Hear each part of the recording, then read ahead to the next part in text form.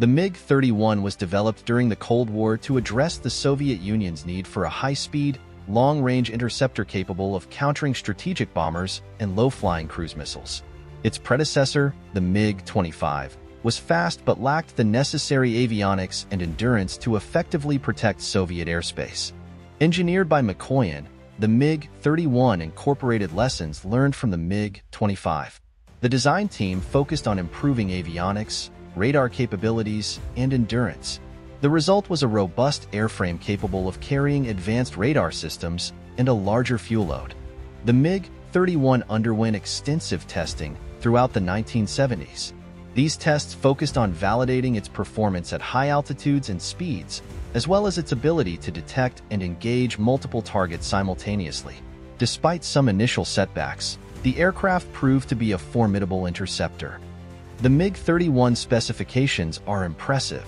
Mass 41,000 kilograms 90,390 pounds loaded.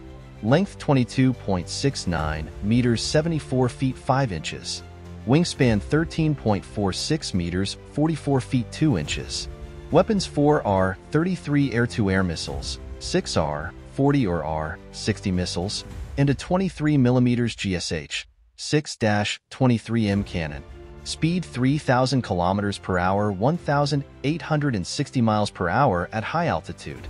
Range 3,000 km, 1,860 miles with drop tanks. These stats highlight the MiG-31's role as a high-speed, long-range interceptor.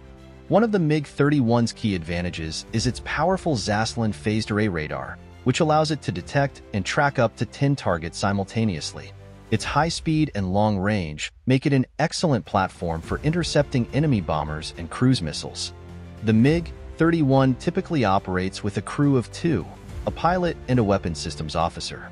This setup allows for better workload distribution, especially during high-speed intercept missions. Despite its strengths, the MiG-31 has some drawbacks. Its large size and heavy weight make it less maneuverable than smaller fighters. Additionally, its high operational costs and complex maintenance requirements are significant challenges. Soviet military doctrine during the Cold War emphasized the defense of vast airspaces against potential NATO incursions. The MiG-31 was designed to fulfill this role by providing long-range, high-speed interception capabilities ensuring the integrity of Soviet airspace. To address its limitations, the MiG-31 has undergone several upgrades over the years. These upgrades have focused on improving avionics, radar systems, and weapons integration, ensuring that the aircraft remains effective in modern air defense roles. In total, around 500 MiG-31s were produced.